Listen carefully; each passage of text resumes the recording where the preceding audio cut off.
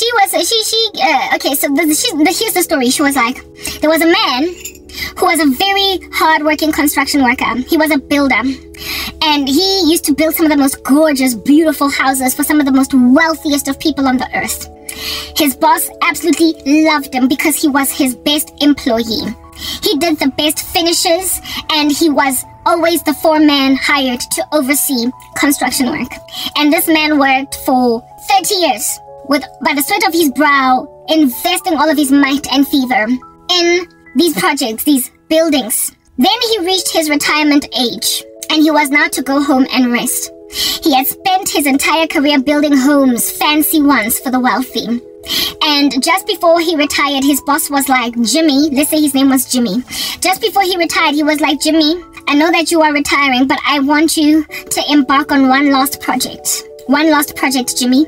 And I want you to build in this project the most beautiful house of this size with this many bedrooms that you ever can possibly build. I want you to procure the best materials for it. I want you to bring your best men on it to help you along. And I want you to do the best finishes. Everything must be to the T, pristine, and absolutely perfect. This will be your last project and I will pay you handsomely for it. Just one last job. Jimmy, will you do that for me? Jimmy, all exhausted on some, oh, I was about to go and retire. This guy, is he serious? He is still out here plundering my, my, my hard labor. I'm tired. But then outwardly, Jimmy tells his boss guy, Fine, okay. I'll do it for you, boss. I will. You've been good to me all these years. You've paid me well. My family's fed because of you. My children went to school. So I will build this one house for you. But Jimmy, unbeknownst to the boss guy, was exhausted and embittered even by the fact that he lives in this lowly home with his wife and children while he has been building homes for the wealthy.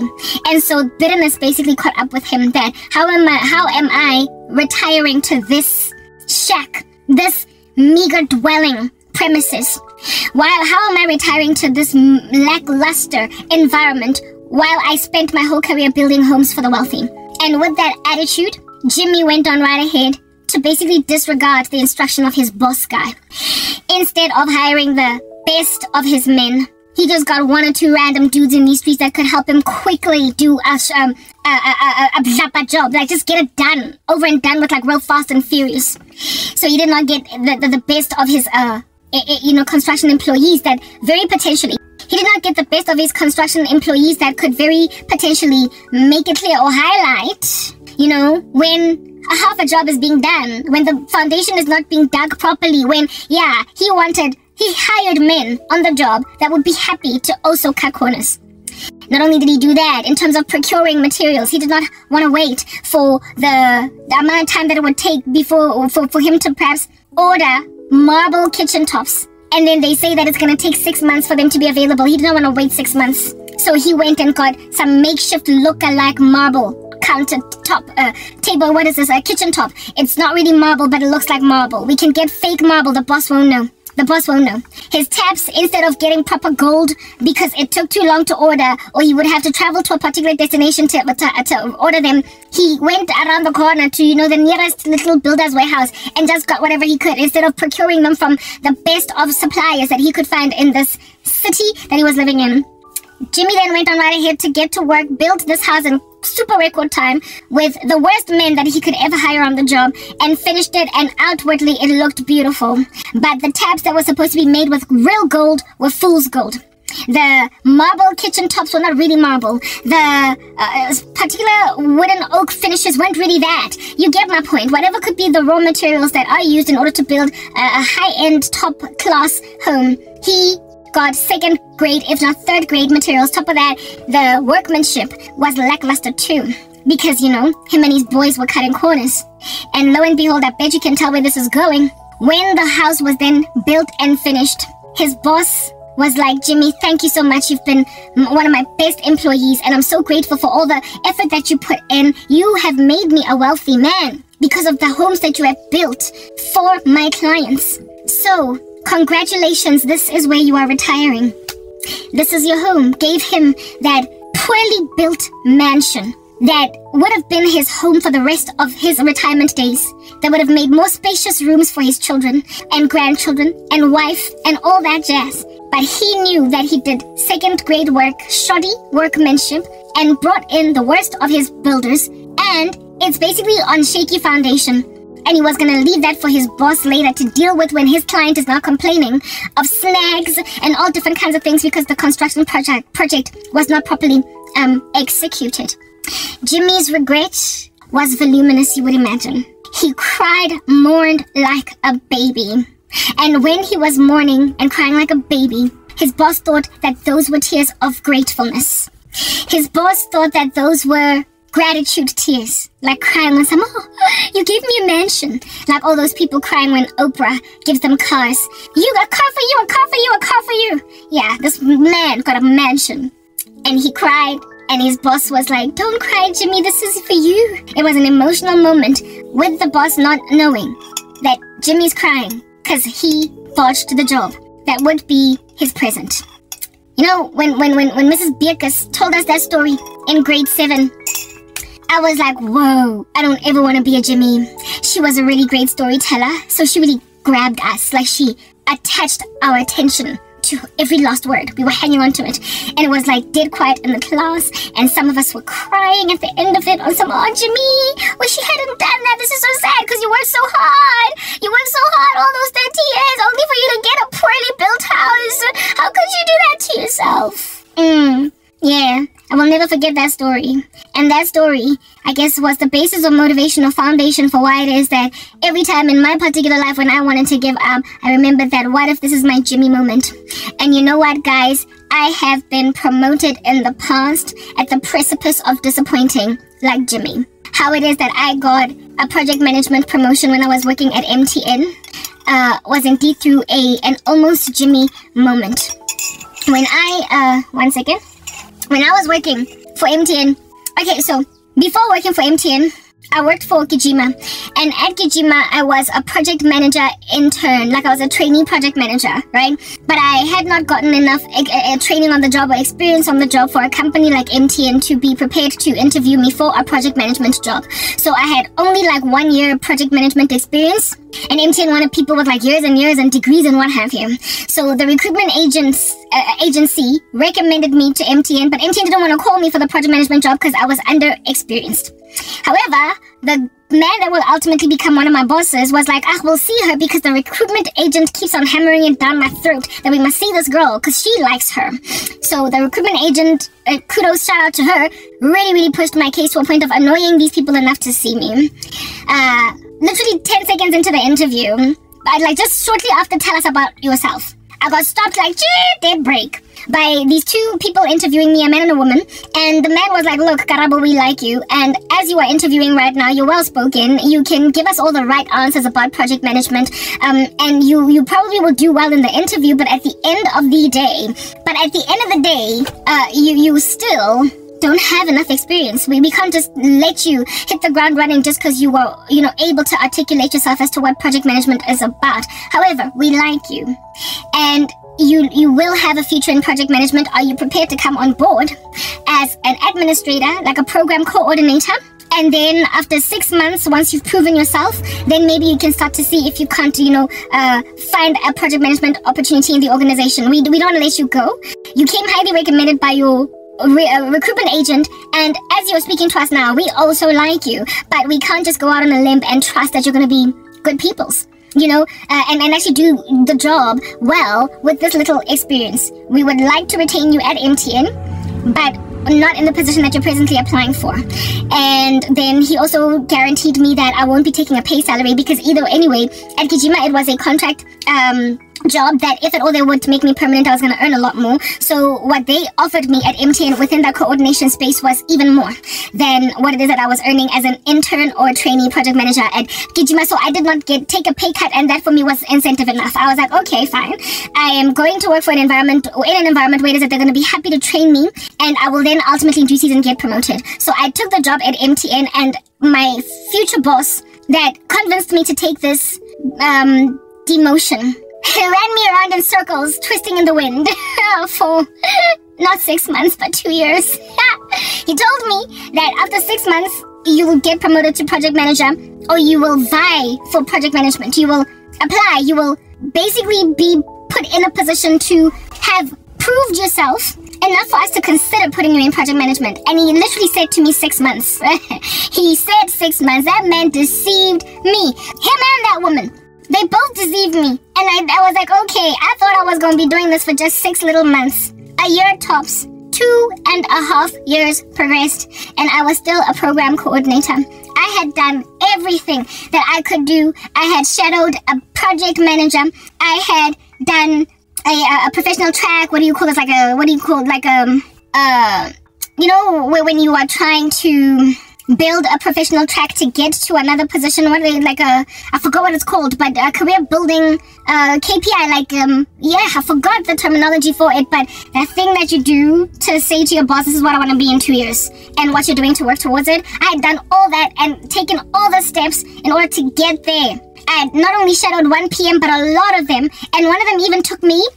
One of them even took me under his wing yeah, like attending his meetings and everything. Essentially, sometimes even standing in for him when he's not available. I was like basically half PM, half program coordinator, and I did this grinding like a dog. Like I felt like I was pulling, like I was carrying a cross. Do you understand? Even though I wasn't born again, in the blazing sun, on the all the way to Golgotha, and I imagine that this is career suicide. Like I'm never gonna get to where I want to get. People kept on getting hired anew. Vacancies kept on getting opened for project managers, and other people kept on taking. I was like, hey, yo, um, and I got disillusioned. I got this. I was like, they're playing games, these ones, dangerous ones at that. I got so disillusioned, and I don't know how many times I applied to leave MTN to outside, right? I, I just wanted to leave. I just wanted to get out and go somewhere where they're going to give me an opportunity. And I knew that if I left MTN, I was definitely not going to be leaving into a project management job because I couldn't only ap apply for a project management job as a project manager. I can't just go somewhere and be like a project manager you know, having been an administrator before. They're just gonna be like, sorry, why are you applying for this job? You're not ap appropriate for it, even though I had one year project management experience before. I'd taken all the courses, I'd done PMBOK, I did the project management um knowledge, body of knowledge, all that. I had done it all, yo. Yeah. And I was out here having these bosses. I had three bosses. I was here dealing with these three bosses of mine. Like it was a senior manager and two program managers. These three bosses of mine just watching me dilly dally bounce around on the spot on a beach ball going nowhere. And I got so disillusioned, guys. So disillusioned that I started to literally low-key drop the ball. I was just doing enough. Like, I, I would go to work on some Kifikile. I've clocked in. My access card is registered on the system. Mm, open the laptop. Enter. Uh, send email. Do what I need to do during the day chill in the coffee shop for half an hour longer. Like, I was basically just in, annoyed, irritated with my three bosses because they knew what I wanted and they were wasting my time. I was like, Wena, I see you. All you want is for me to be your administrator for life. You like me, it's clear. Oh, but like secretary for life. You want me as your as your administrator for life because you trust me. But at my expense, at the expense of my career, you trust me. You don't want to let me go. Hey? You don't want to let me go. And so you're going to keep me an administrator for five years just because you don't want to have to go and retrain another person. Mm-mm. I see you. I see you. I was, oh, guys, I was, I was embedded and the project managers. Mm. the project managers that I used to serve that, that were part of the teams. I get that there were program managers who had project managers underneath them. And then there was the boss lady, the senior manager, who was my line manager. Mm. So I used to administrate the team's project management office thing, me and two other um, program coordinators, because the senior manager lady was um, was running teams of program managers and each one of us co coordinators had two program managers teams to deal with and these two program managers had teams of project managers underneath them and we would administrate two teams of program managers with project managers underneath them, but we all reported into the senior manager. So we were her kids, you know? Yeah, type thing. However, we served her subordinates. We served her program managers and their project managers. Attitude. Yo, guys, attitude. You know, uh, T T T T T, my T T ting ting attitude that I used to give sometimes, especially Monday mornings. Yo, don't give me mornings. The attitude that I would sometimes give to these project managers. Some of them I would look at them on some way, I can do better than you. When Ah, what's wafa? Because I you're lazy. And Because I well, I had access to their workflows. I had access to their projects. I have access. I had access to their work ethic. Uh, like when they dropped the ball on health checks and whatnot, I knew which project manager basically was just uh, sacked. I knew which project manager was bad at their job because they were making my life a living nightmare in terms of uh, fulfilling the demands or the needs of my bosses. My bosses who were the program managers and, and the senior manager. They had KPIs to meet, and I knew which project managers were basically weighing everybody down. And I would look at these project managers that give me a hard time as an administrator in meetings sometimes, and how they would give all these excuses for what it is that they were doing or not doing. Um, and I would be like, so much. I'd be like, look how lazy this one is. That one, always dropping the ball. That one never gives me what I need on time. That one never updates their project plan. That one never has their documentation in order. You should look at their documents empty inside SharePoint. That one, they ever took in my mind. I was just looking at all of them. Deep down inside, I was just like, oh, footy, they're not as good as I could be.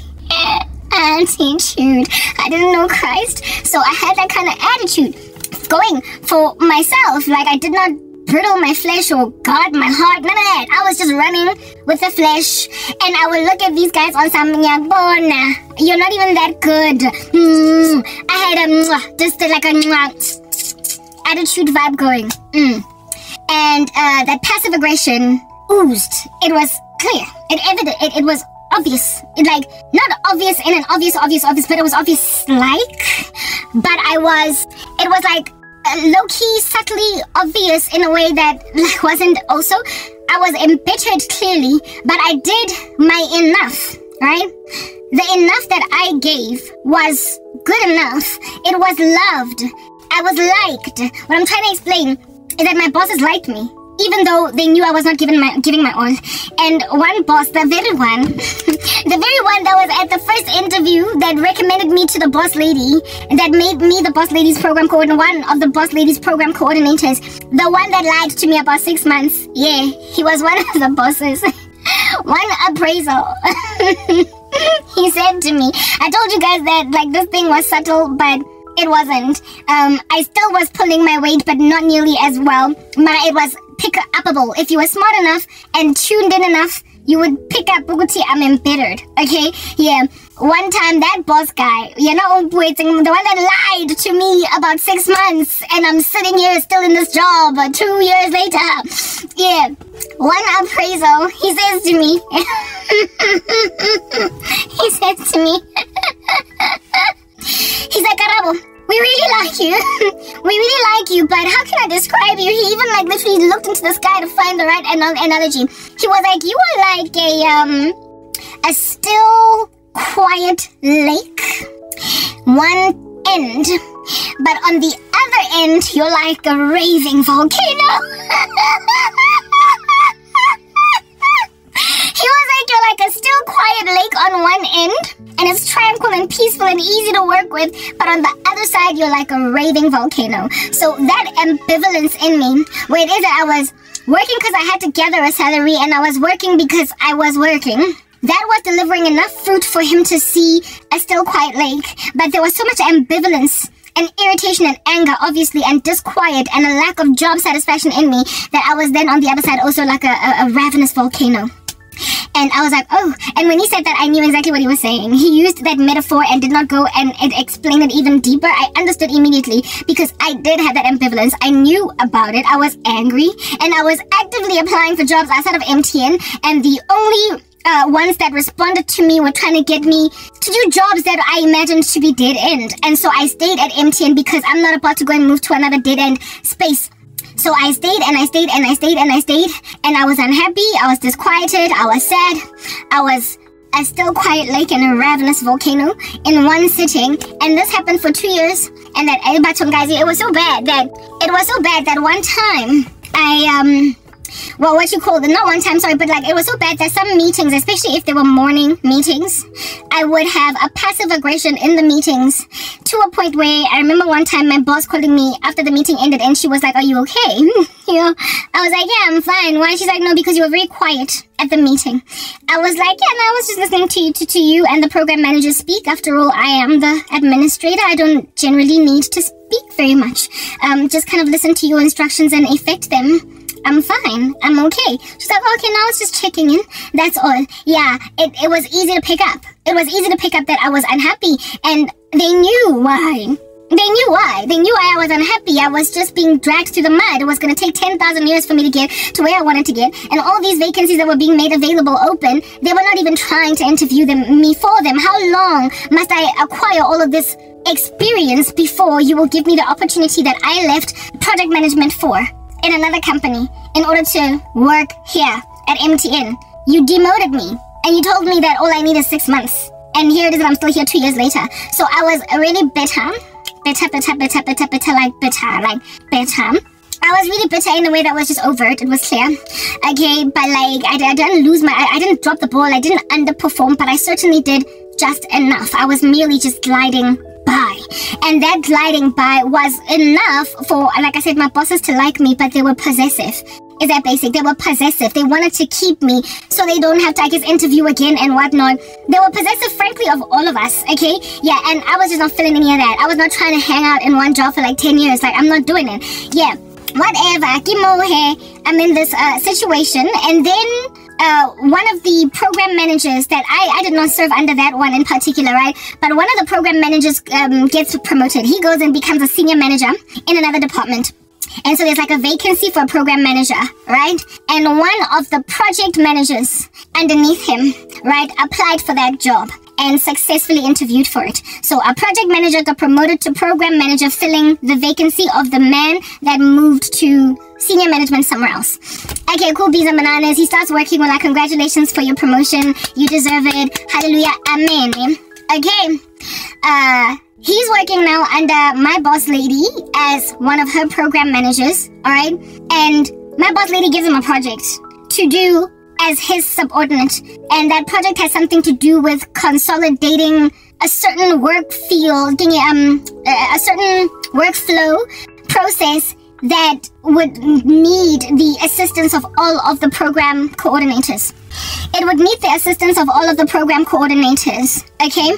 in uh in, in the in the department altogether and I was I was one of them. In the beginning there were three of us program coordinators but as the years progressed and they did reshuffling of structures we ended up acquiring like I think three more. So nearly or four more, so nearly like seven or something. There were like seven of us program coordinators scattered across multiple project management teams and program management teams. Okay, cool beans and bananas, right? I was one of the OG program coordinators. Um, I was one of the OG program coordinators, and so uh, and also the most trusted. He went and asked, "Who's this?" The boss lady on some okay this project that I am hooking up that you want me to do that's going to consolidate uh, consolidate these workflows for our teams um, you want me to work with program coordinators which one do you recommend I I, I, I, you know I check in with first tap on the shoulder of first? And this boss lady was like Karabo go to Karabo definitely Karabo. Papa like I was out passing so much shade to these people right? I was obviously angry like, why are you wasting my life and my time?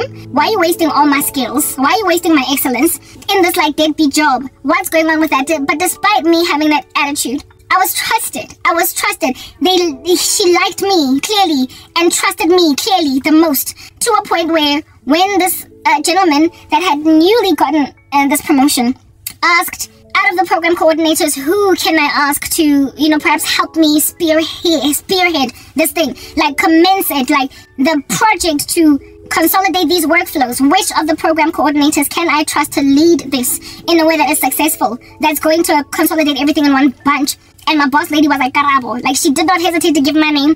And so when the dude tapped me on the shoulder on some Karabo, can I have a meeting with you?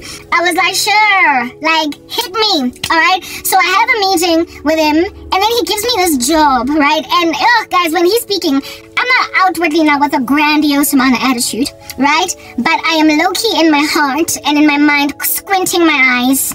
I'm squinting, I'm rolling my eyes. I'm like, ugh, why me? Like, what, like, proper, I had that why me attitude. He calls me into this meeting by myself. I'm like, why didn't you call all the program coordinators and ask them who wants to head this machine? Hmm? What makes you think I want more on my plate than I already got? Hey, what's wrong with you? That's what I'm thinking. I'm thinking it. I'm not acting it out yet. Okay? I got attitude. You're like attitude. Alright? This man is I just I'm sitting with him in this meeting room and inside I'm grinding my teeth. I'm gnashing them like hell. I like, yeah. Deep down, I'm gnashing my teeth. He's out there giving me more work than I need. Mm. He's actually giving me more work than I frankly am prepared to take in my stride. I'm disillusioned. I'm disquieted. I'm unhappy. I've been put left in a job for like 10 years, okay, 20 million years, going nowhere when I was supposed to be in it for just six months. I am obviously, I'm like, you know, like I'm oozing, I'm giving. I'm, I'm out of the door. I've got one foot out. Y'all know I got one foot out the door, right? I'm giving one day I'm gonna hand in my resignation. I have got that going and it is felt. But they're they're writing me out. They are writing out all that attitude. Okay? Because despite it apparently allegedly I still was the best. I was still a top performer or whatever. So they kept me. And here it is that this man has been told if you want somebody to spearhead a project, go to Karab. And I'm now sitting in front of this man out here to asking me this big favor. I now have to go and gather all the program coordinators and start to basically motion his project and bring it to fruition. This thing that he has been given as a responsibility, he has decided to put me as head of it. And I was like, do you know how much I earn? And on top of that, you know how long I've been all up in this gangster job? Okay. Mm. And do you know how under heaven I just ain't feeling the fact that I was told I was only gonna be in it for six months? And do you know how it is that I obviously I'm still gonna be here after 10 years? Like, and you want me to do more than what is absolutely necessary? Is that what I'm getting from this interaction?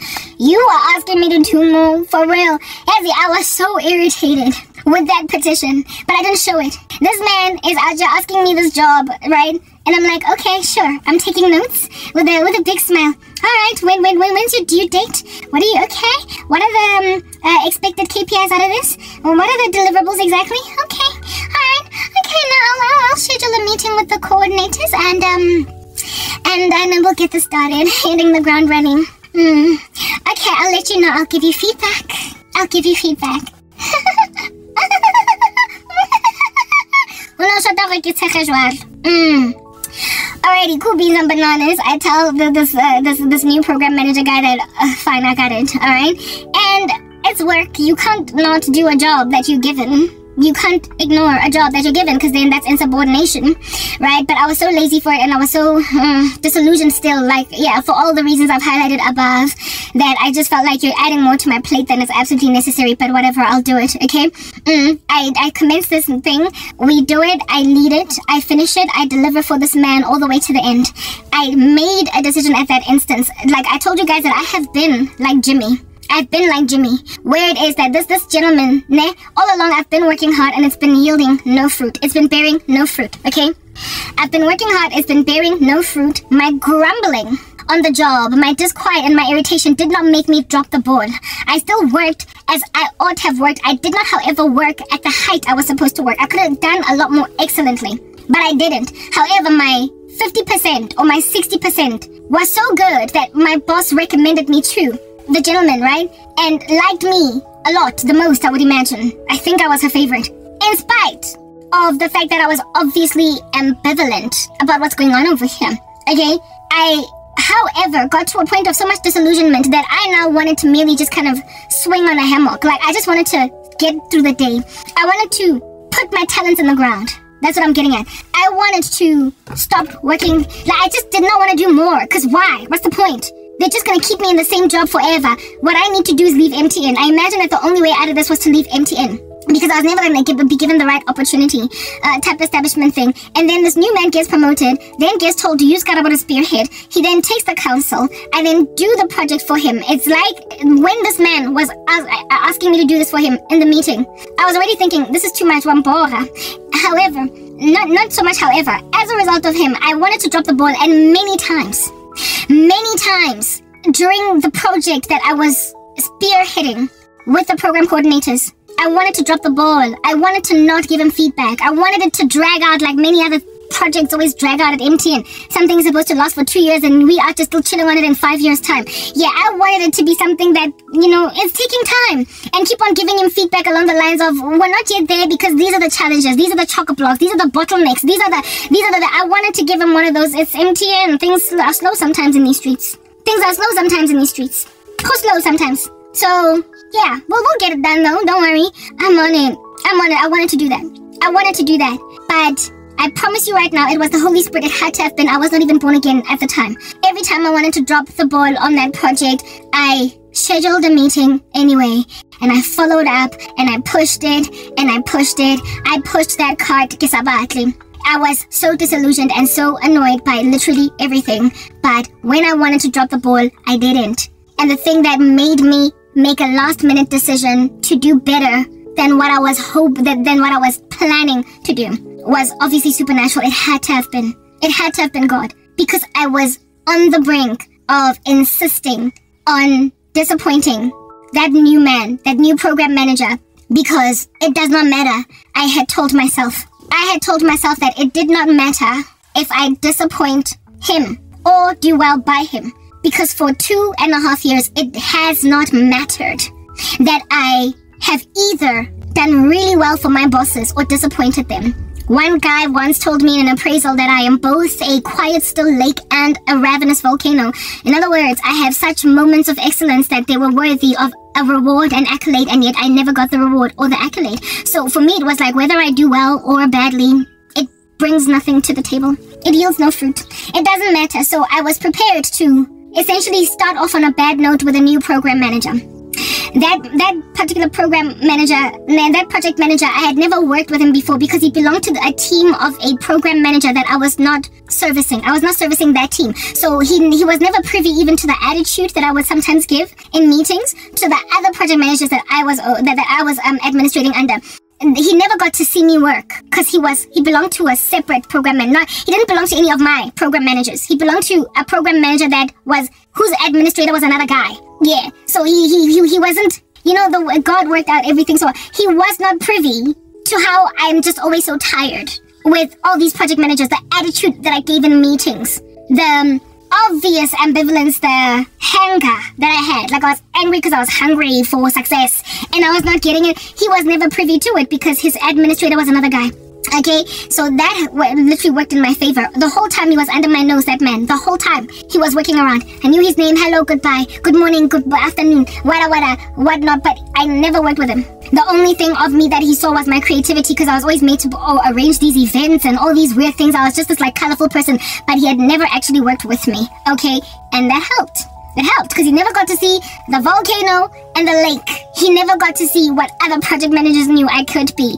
Cheeky full of bunch of attitude. Yeah. Mm. So this man, I was prepared to disappoint him. I was prepared to show him the side of me that really could not care less. I'm here to collect the salary at the end of the month and I'm doing just enough. It's not like I'm not doing my work, but don't expect me to do more. Don't expect me to walk on water. I'm not Jesus. Like proper. Mm. I was tempted to give him that those vibes. I, I, I just I literally wanted to disappoint him because I imagined that what's it gonna give? Don't nobody care. Nobody does anything with my prosperity in this place. When I do really well, don't nobody reward me. I'm still getting a 5% uh, salary increase, 6% every single year. Like, yeah, I don't care. I don't care. I don't care. I wanted to do that. I wanted to keep doing that. But something pulled me to do better. I wanted to make like Jimmy. I wanted to make like Jimmy and do a lackluster project. Not put in the right taps, not put in the right kitchen counters, not put in the right marble tops, not put in the right tiles, not put in the right foundation. I wanted to do what Jimmy did. And it would have been the worst mistake I could have ever made. Because if he had chosen somebody else to spearhead this because I dropped the ball, that would have been the person to get the opportunity. That would have been the person. I decided to pull my weight anyway, even though I was really unhappy by with just the extra stuff I have to keep doing. And one day, this man schedules a meeting with me, right?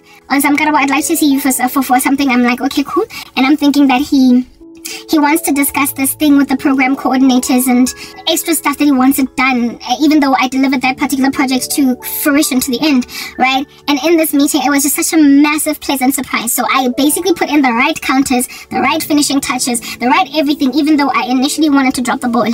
I wanted to drop the ball, and he calls me to a meeting. I'm sitting opposite him in the meeting, like a neat little girl, and he's like, Karabo, you know, with this program coordinator thing that I asked you to do, it was one of my first projects under my boss as a program manager, and it got me rewarded well by my boss. She really liked how I delivered it, and I realized that really, if it wasn't for you, I wouldn't have done it. I wouldn't have been able to deliver to her that which made me proud of, made her proud of me as her new program manager. Essentially, I started off on a good note with my boss because of you. And I realized that you have absolutely everything that is needed and that it takes to be a project manager. So I have an open, guys. As I'm getting emo just thinking about it. What? He was like, I have an opening, an open vacancy in my team. And I have already spoken to my boss, your boss, that I want you to fill that vacancy. I will keep it open. I don't even want to interview other candidates. I want you to fill that position. But the interviews at Yazi, before he could even spe- finish speaking, I was like, what? I was screaming in this room, jumping up and down in this meeting room, and I was like, you what? Like, are you what? Like, what? You what? Like, you what? What? Like, you what? What? That's when I was literally out of my mind with shock. I was out of my mind with shock. Like it came at me like a ton of bricks, unexpected. And I was like, ha, ha, ha, ha, ha, ha. yeah, this man was out here telling me that this job is as good as yours. We only have to go through the formalities of the interview, but it's yours. I want you to be one of my project managers. Guys, and he had already told my boss that I want Karabo to be my project manager. And my boss, this time around, my boss this time around was like, I, you know, I can't be holding on to some people forever, you know? People gotta grow in these streets. Like, we gotta let some people grow. So it's okay, it's fine. You can take her.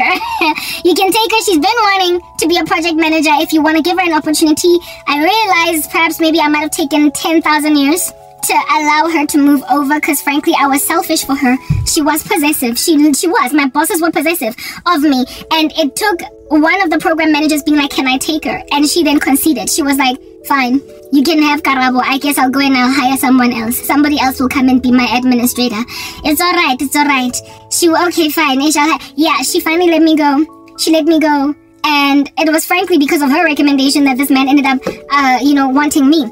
But I got the opportunity that I've been waiting for all this time because of the fact that I kept on working hard in spite of wanting to drop the ball because I imagined what's in it for. Like, it's just a waste of time.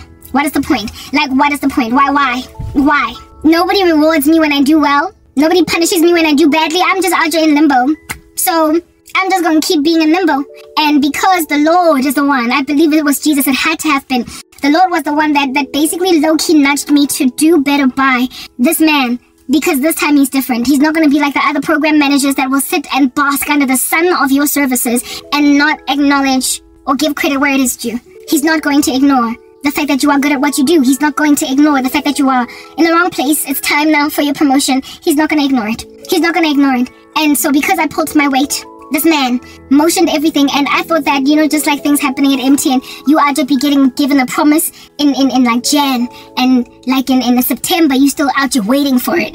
you're still waiting for the free you're still waiting for the fruition of the thing they said is gonna happen in March. In March, they, they give you the promise in Jan, say by March you'll be good, and then in September you're still waiting. Yeah, I thought that maybe this was gonna be one of those things where it is that I would still be waiting that much uh, for for something to give. And no, this man moved so fast with stuff, so fast. Like within two months, I was placed as a project manager, but I was not a project manager. My my boss took me away from him. You see, the the thing about that boss lady is that she knew all along that I was in the I was not supposed to. Do, I I stayed in that job for longer than what what what was absolutely necessary. Okay.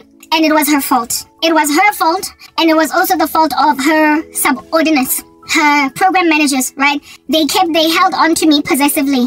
She knew what environment was best for me. She knew what environment was the most fit for purpose for me. Maybe after four years, she might have pulled strings to move me there, right?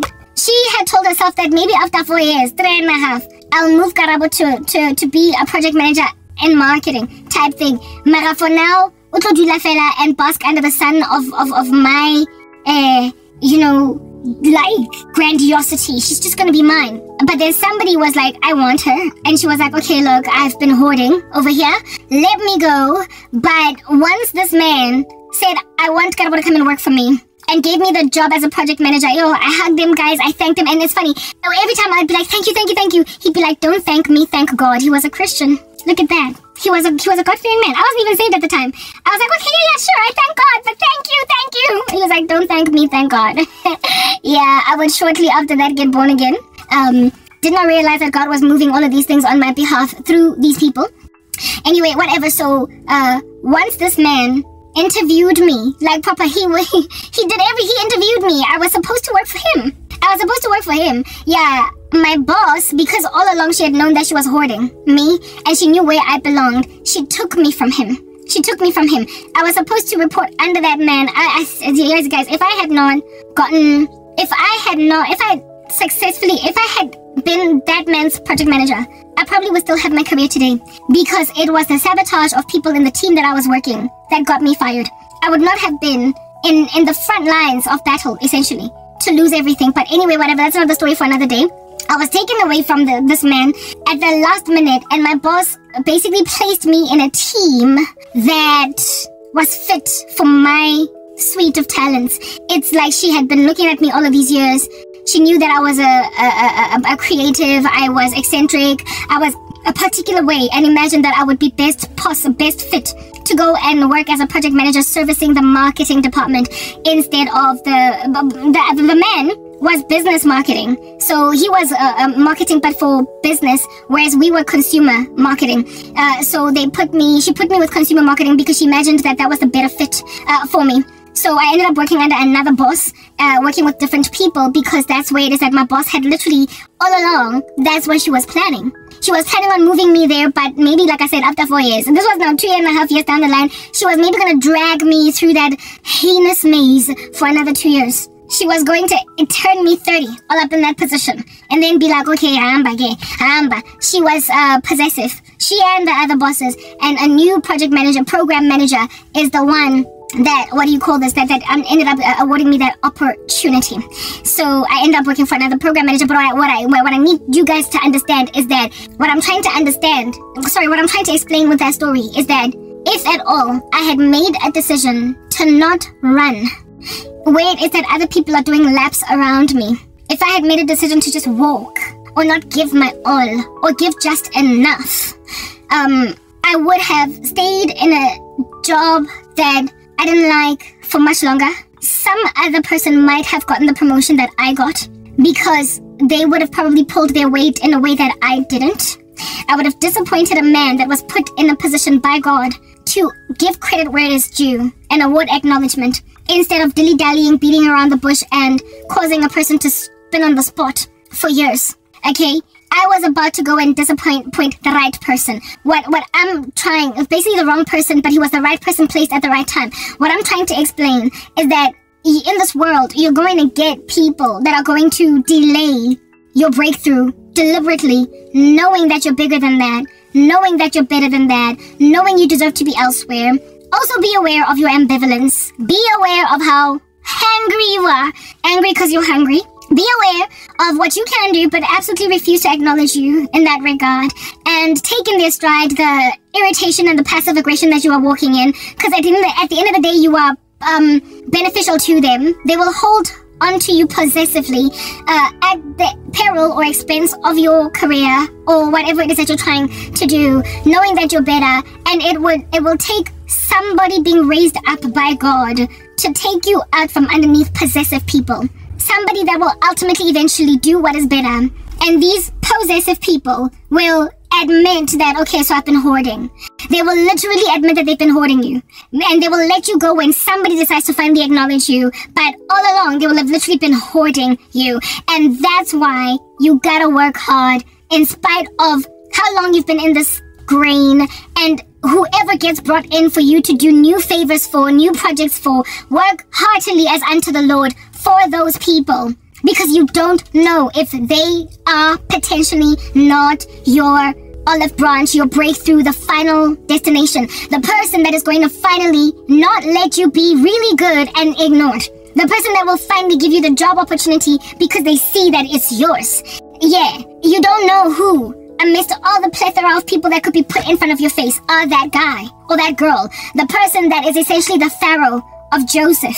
The person that is essentially the, the, the person that ultimately awards a waiting person their deliverance, their breakthrough. You don't you don't know when you have finally met your Pharaoh. Do you understand what I'm saying? You don't know when you have finally met your uh, your Darius as Daniel in the lion's den, like a person that is going to give credit where it is due, reward you for what it is that you have rightly worked for, and so therefore deserved. You don't know.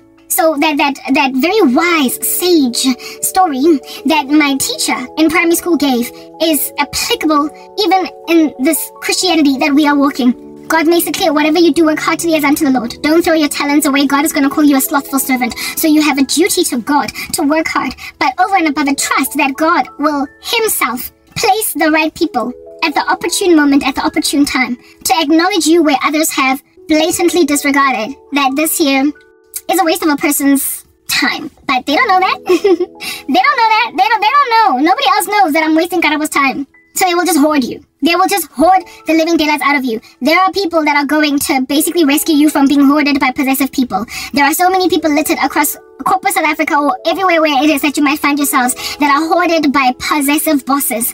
Bosses that cause you to quit your job to move to another company in order to find a place where you can be able to move. Even though if you had stayed in that company, you would have been promoted in that company. And so therefore, started off from that elevated position, you would have been given that springboard. In order for you, Laura moving to another company, you're starting on a very lofty note.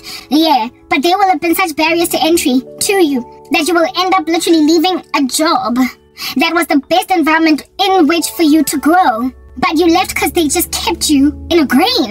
Even though you were the one that was training everybody. You were the one that was this and that. You were the one that was the best at this and that. You, frankly, were so trained at the job that you are too inherent, inherent in the future that you are basically teaching even those who do that job their job. Like, you know how it is that I was with, project managers, I would look at them on some when I'm better than you, when I'm better, like people that were dropping the ball like no man's business. I was an administrator and was privy to their work ethic. And I would look at them and I'm like, you're collecting that big fat chunky project management salary. Mara, you suck. Like you're lax in comparison to every, to uh, many of these other project managers. And in comparison to how I would do if I was uh, a project manager, you are bad. You are not good at what you do. You are not good at what you do. And yet you're the one with the job. Yeah, when, when you are so ready to do a job that you are already better than people who are already doing that job. And yet people are wasting your time God knows that and He sees that pain. He recognizes the fact that there are others who love to hoard people and twist you in the wind until you feel like you have run out of breath. God knows. God knows. And He will raise someone up. I need to use the bathroom. Okay, I'm back. Yeah. Alright. Yes, so basically, guy. Yeah, I was speaking about how it is that dropping the ball, first and foremost, it's um it's ungodly, right? We should not do it because that's the throwing away of our talents. God is going to call us wicked and slothful. Whatever we do, we must work heartily as unto the Lord, and whatever we do as well, whether we eat, whether we drink, we must do it all for the glory of God. So it's godly to not be lazy or to drop the ball, but it is also beneficial. You know, the Lord does not merely give instructions if they don't reward you.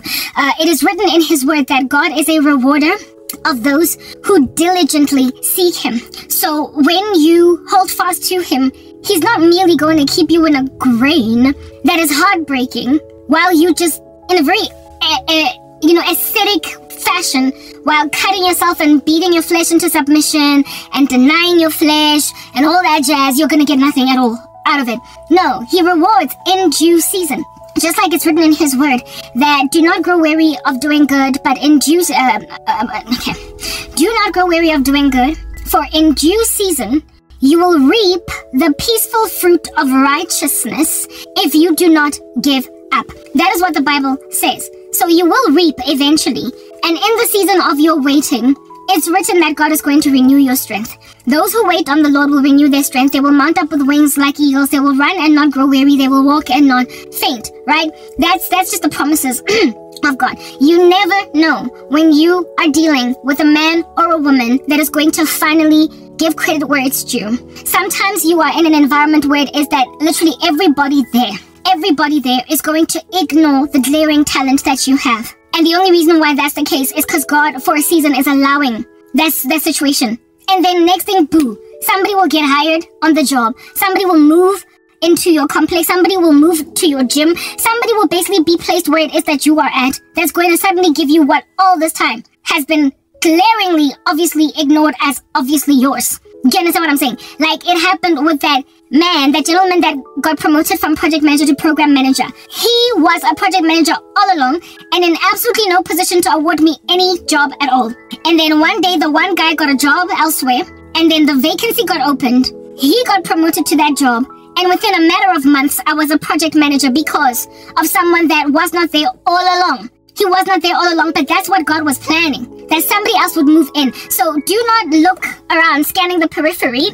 Do not merely scan the periphery on the left and on the right of you, looking at literally nothing but naysaying people, naysaying colleagues, people that you know will never do right by you, people that you know will never do anything that is sober and sound. People that you are aware are just gonna hoard you like boxes in a house that is already cramped and there is nothing you can do. Do not look at your ecosystem panning your head left and right and be disillusioned by obvious saboteurs. People that are obviously never gonna do good by you unless they get like a Saul on the road to Damascus moment, meeting Jesus and suddenly getting born again.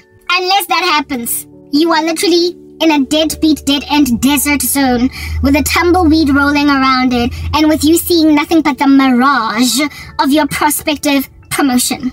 It's a mirage, and it will only ever stay a mirage until some new dude starts working for your company or a client, a client that is your company's, uh, you know, uh, biggest like honcho client guy. When you go and have a meeting at his premises, and has and then he has a conversation with you and is like, how would you like to come and work for me? How would you like to quit that job that you're at and work for me? Because I like what it is that other services that you are offering me. I'll take you. Ganakwating Mutwatingi is a client and it's a new client that has newly signed on to your firm.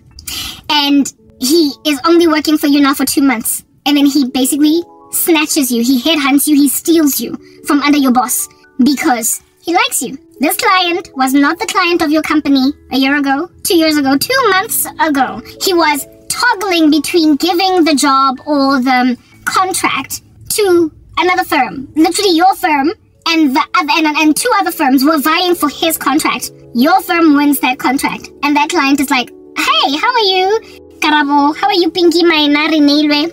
I really like you. How would you like to quit your job at that company and come work for me? Massive salary increase, big chunky opportunity to finally do what it is that you've been wanting to do all along. Where was this guy two months ago? Being basically, uh, what is this? Um, headhunted. He was being sought for business by your company. Where was he three years ago? Nowhere to be found in the market because he was startup. He was a startup entrepreneur. Where was this guy Six months ago when you are applying for a job elsewhere out there because your present company, your present boss does not care to give you a promotion. He was busy petitioning for a company to take take on his particular books to either underwrite them if it's insurance or to uh, give them benefits if it's again insurance if it is as an IT company he needs this particular software for, his company, yeah, and he's busy literally scouring the market for an IT firm to provide these services, and you work at that IT firm. Two months ago, he was looking for this opportunity, and two months later, he has chosen your firm, and a month later, he has decided that he wants to steal you from your company. You literally don't know where these guys are going to come from. So don't look at your company and your boss or your colleagues that will never say anything right about you, or your just don't look at the dry little desert where you are seeing the mirage of your prospective promotion as the dead end. Recognize that wherever you are placed, God has put you in the right environment. You are perfectly placed. You are perfectly placed. It's written in Psalm 139 that um, the Lord has set apart every last one of our days in advance before any of them comes to pass. So God knew that you would work in a job that is dead end with a dead end job, with a dead end boss and dead end uh, colleagues, dead end possessive bosses. God knew that you would be there and they would refuse to acknowledge that you deserve the promotion. They would refuse to admit that they keep on making you train some people, even though you're the one that should rather be getting that job. They will just ignore it until, like I said, a new client works for your firm or getting a, a contract with your firm or they will uh, completely ignore you until some basically something is going to eventually give. That's what I'm getting at. Something will eventually give. So don't look at your desert. Don't look at the Kalahari gawking at you with dust blowing in your face and your boss just keeps on asking you for the new minutes, the new this, the new that, the coffee, and you are just like rolling your eyes on some, I'm gonna die here, I'm gonna die. Top of that, every job that I apply for out there in the wilderness is a dead end. Like, I'm gonna die here, I'm gonna, don't, you don't know who's coming. You don't know who's gonna waltz into that door. You don't know what new colleague is gonna work that is in a senior position that's gonna promote you working for their team. You just do not know. So hunker down and not only hunker down, work. Like work. What is important is to work. Don't ever let your work ethic fly out the window because whatever you do, you ought rather work heartily as unto Jesus Christ. You must work as unto the Lord, not for man. Because the moment you, you, you think that you're working for man, you're going to feel like you're squandering my skills. You, you are using me. You, you are ironing me flat like, like, like a shirt. You, you, I see you. You, you just want me to be here for 10 years. You will literally look at your boss as, uyazi ukuthi ngaziwenzani kodwa yanyekela mm.